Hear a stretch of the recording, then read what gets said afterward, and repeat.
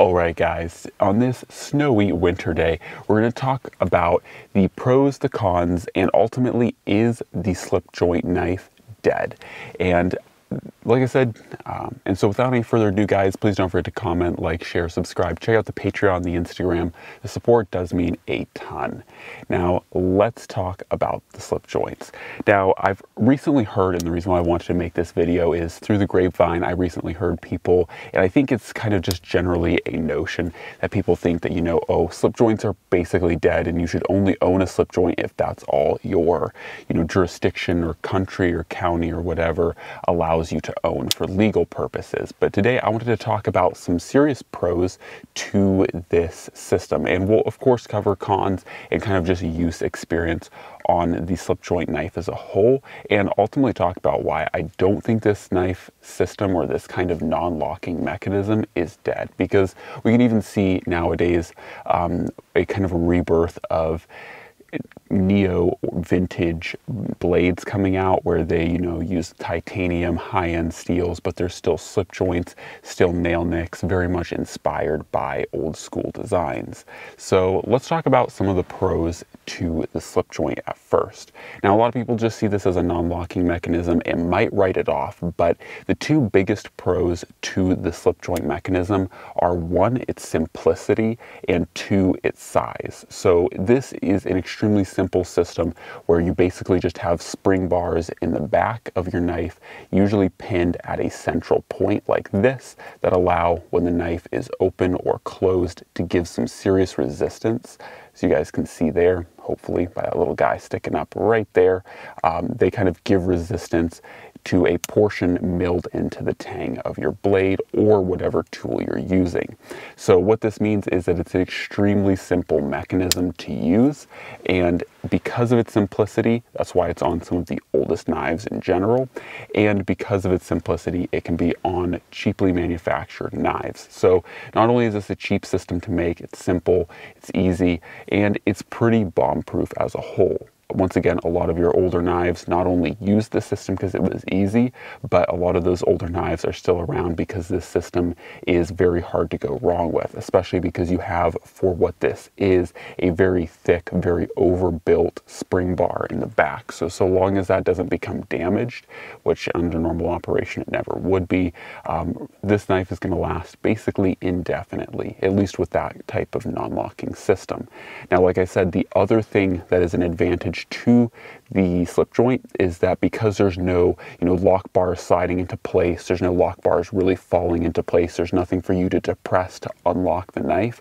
These are extremely um, thin or extremely compact non-locking mechanisms. So not only that, too, you'll see this in a lot of um, kind of multi-bladed or multi-tool uh, designs where you'll see, um, hopefully with this locking bar, this one up on the top here, you'll see that uh, this awl, if I get this guy out here, uses this locking bar.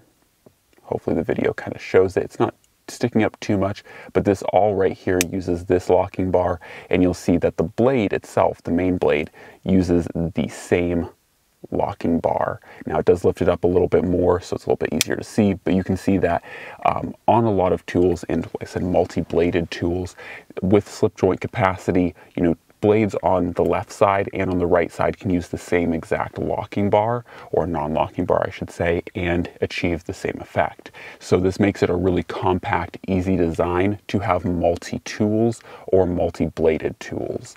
So that is another big draw and a big reason why you will see um, this design with things like Victorinoxes or Great Eastern Cutlery with their different multi-bladed tools.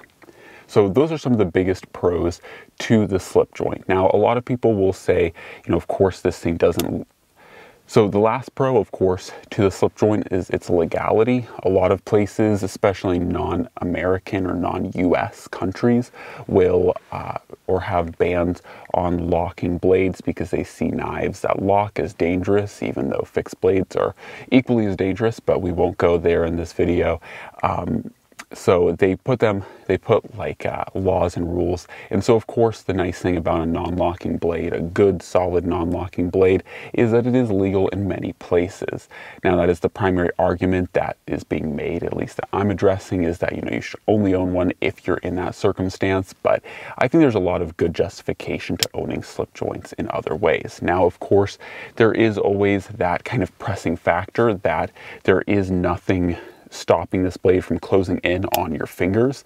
And some lock bars are, or non-locking bars are and some spring bars, for instance, are not as strong as others. Luckily, Victorinox, you can see I'm really having to put a lot of pressure on this to get it to close in. So a lot of your higher quality um, tools are going to have stronger spring bars and they're going to be a lot harder to depress.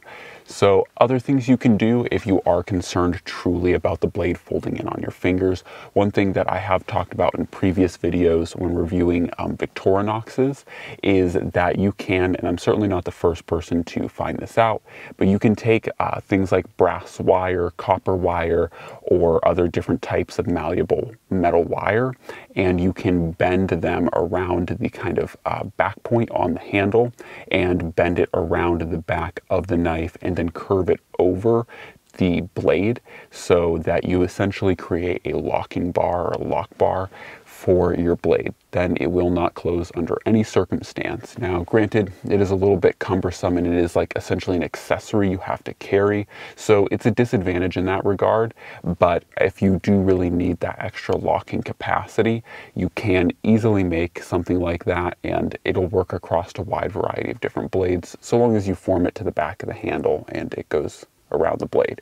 So anyways, that is something that you can do to help mitigate the risk of cutting yourself or having that failure, you know, of the blade coming back in on you. So that is something to keep in mind. And of course, that is definitely the biggest con to the to the slip joint knife as a whole. There is no locking mechanism officially, and so therefore it can be inherently dangerous, but it's not really something that I think is as big of a deal as most people make it. Even if, you know, and even with a little bit of experience and time, you know, the biggest thing that you don't want to do with a slip joint is, you know, have your thumb up on the blade and pushing it through material.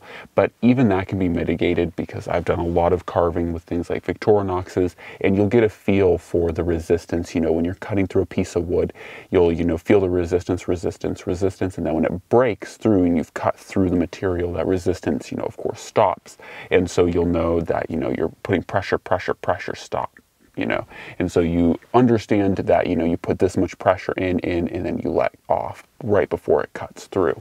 So you know things can be done and you can learn it through feel. So it's not too big of a deal to have um, your thumb it's not too big of a deal to have your you know thumb up on the blade. Just probably in the beginning don't do it. And then as you get more comfortable and you feel that resistance of you know cutting through materials more and more you get comfortable with it uh, certainly so anyways, you know, the biggest advantage I think outside of the, the pros that I already mentioned uh, with slip joints, and I think the reason why slip joints are kind of coming back is this rebirth that a lot of the oldest knives, uh, at least folding knives or pocket knives that we have in human history are slip jointed blades. And so there's this rebirth of new old school styled blades and also old school blades themselves out there that, you know, if you just write off slip joints as an old, outdated, or antiquated mechanism, uh, you know, you really uh, miss out on a lot of unique tools that are very historical or have historical roots.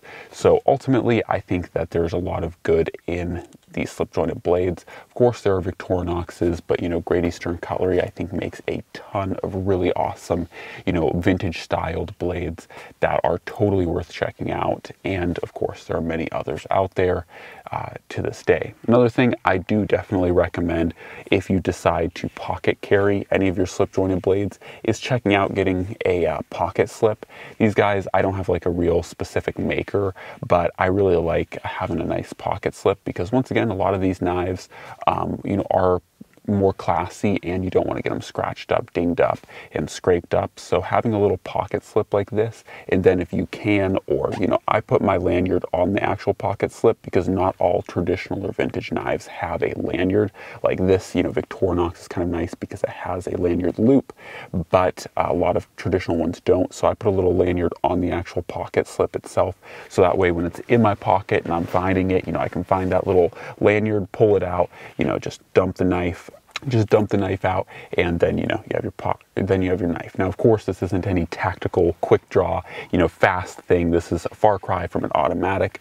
But once again you know you don't necessarily need that per se especially if you're thinking about carrying a you know, uh, slip joint blade. So would recommend a pocket slip. Um, they do exist. Just uh, Google pocket slips and you'll find leather, canvas, different materials out there. So anyways, guys, hopefully enjoyed this video. And ultimately to conclude, you know, the pockets, the slip joint blade is not dead by any means. In fact, it's actually seeing somewhat of a rebirth because people are making, you know, neo vintage blades out there that, you know, have that higher quality steels, higher quality handle materials, but made in traditional styling. So anyways, guys, hopefully you enjoyed the video. As always, God bless, and I'm out.